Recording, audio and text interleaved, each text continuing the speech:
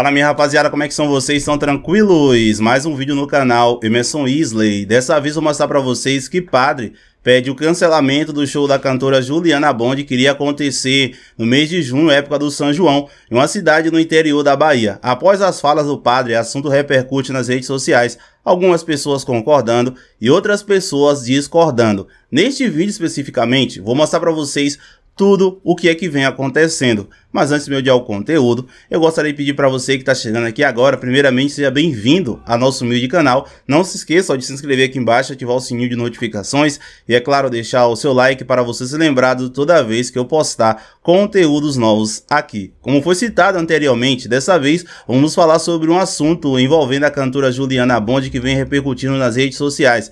Isso porque um padre de uma cidade no interior da Bahia vem pedindo o cancelamento do show da cantora no São João, onde onde o mesmo acha que as letras das músicas de Juliana Bond não é adequada para cantar na, no, na época festiva. Esse assunto tomou grandes repercussões. Alguns moradores da cidade vêm concordando com o cancelamento do show da cantora Juliana Bond, mas, pelo outro lado, tem algumas pessoas nas redes sociais que não estão é, de acordo. Eu vou mostrar aqui para vocês, primeiramente, uma matéria que saiu lá no G1, um dos principais sites da Rede Globo, para posteriormente eu mostrar para vocês um vídeo em que DJ Maluco, o empresário de Juliana Bond, acabou fazendo um vídeo fazendo um apelo ao padre da cidade onde, segundo o DJ Maluco, Juliana Bond ela não só canta a música da Periquita, mas também outras músicas, como músicas que têm letras. Ele ainda acabou falando que Juliana é uma pessoa jovem e que o público em si gosta. Mas enfim, aqui fala assim: Contratação de Juliana Bond para a festa do padroeiro de cidade na Bahia gera polêmica e repúdio da igreja, entre aspas, fere princípios que estão. A contratação da banda Bonde do Forró, liderada pela cantora Juliana Bond, causou polêmica entre os católicos e moradores de Pindaí, no sudoeste da Bahia. A atração se apresentaria nos festejos juninos em 24 de junho, dia de São João Batista, santo católico, padroeiro do, da paróquia e da própria cidade. Toda a polêmica começou ainda no final de março, quando a prefeitura de Pindaí divulgou que a cantora se apresentaria nos festejos juninos nas redes sociais, os moradores escreveram mensagem contra a contratação, por se tratar de festa de São João. Entre aspas, é brincadeira isso, não é? Gente, essa mulher não tem uma música que não seja baixaria. Vocês perderam o senso do ridículo, só pode, escreveu uma das moradoras nos comentários da publicação da prefeitura. Mesmo com a repercussão negativa da atração no dia da festa do padroeiro da cidade, a prefeitura manteve a decisão. Nesta semana, a paróquia de São João Batista emitiu uma moção de repúdio. No documento, a paróquia informou que os membros dos conselhos dos pastorais não concordam com a contratação da artista, que se apresentaria no mesmo dia de jubileu de 60 anos sob a alegação de que ela expõe desmacidamente, de forma vulgar, a questão sexual. Tem suas composições letras que ferem os princípios cristãos. A prefeitura de Pindaí se manifestou em nota e informou que não houve tentativa de diálogo da igreja para resolver a situação. Disse ainda que a paróquia fez moção de forma pré precipitada é, com a repercussão da moção. A data da apresentação de Juliana foi mudada para o dia 22. A prefeitura afirmou também que ofereceu, ainda no dia do padroeiro,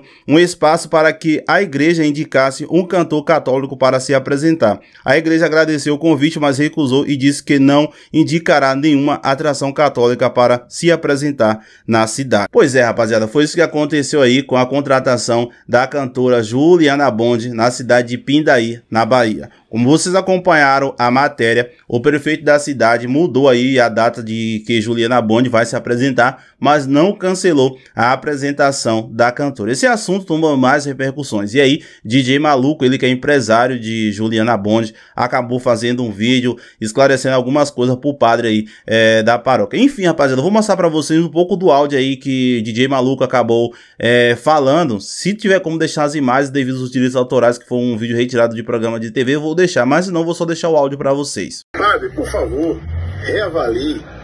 A Juliana não é só aquelas músicas que você tá vendo aí da periquita, não. Ela canta música evangélica, inclusive a música Aleluia teve uma repercussão até maior do que a música da periquita. O que acontece, padre, que a Juliana é cantora, ela canta o que o povo quer ouvir. Quando você vai para cima do palco, você tem que agitar o povo, brincar, É uma menina jovem que canta o que a, o que a idade dela permite. Mas a Juliana, eu lhe adianto, ela é uma pessoa que fez os quatro sacramentos, dizimista da Igreja Católica, lhe dou o telefone do padre dela, entendeu? Lá da cidade onde ela, onde ela mora, ele vai lhe confirmar. Padre, seja que nem Jesus, que se aproximou de Maria Madalena e defendeu Maria Madalena. Imagine se Jesus tivesse ouvido o que falava de Maria Madalena. Ele falou: quem tiver o pecado, que atire a primeira pedra. Tamo junto, BMD, nem eu sei aí, nem eu tenho uma opinião ainda formada. Vou dar uma letra aí na música da Periquita pra ver como Tá é do lado essa de quem? Da banda, da paróquia ou da briga? Manda sua pergunta, manda sua mensagem aqui na hashtag. Pois é, rapaziada, como vocês viram aí, DJ Maluco se pronunciando sobre essa situação envolvendo Juliana Bond. É uma questão muito complicada e divide muito opiniões. Algumas pessoas vão concordar com o padre pelo fato de ser é, uma festa, diga-se de passagem, religiosa, festa católica, onde muitos repudiam músicas que fazem apologia ao, ao sexo, diga-se de passagem. E convenhamos, né, rapaziada? É, eu não ligo muito pra essa questão, não sou uma pessoa religiosa, acredito em Deus, mas não sigo religião nenhuma. É, mas se o padre da cidade não quer e as pessoas também não querem que Juliana Bond cante no mesmo dia aí, eu acho que o ideal mesmo é adiar. E o prefeito da cidade fez certo aí em me adiar o show da Juliana Bond no dia que vai acontecer isso na igreja. Mas enfim, rapaziada, vendo tudo isso, o que é que vocês acharam mesmo, hein? Vocês concordam com o padre em ter meio que é, feito esse ribuliço todo aí pra cancelar o show da cantora Juliana Bond? Deixa aqui embaixo nos comentários. Bom, gente, esse foi o vídeo de hoje. Muito obrigado por assistir até aqui. Eu espero vocês no próximo abraço e até qualquer momento.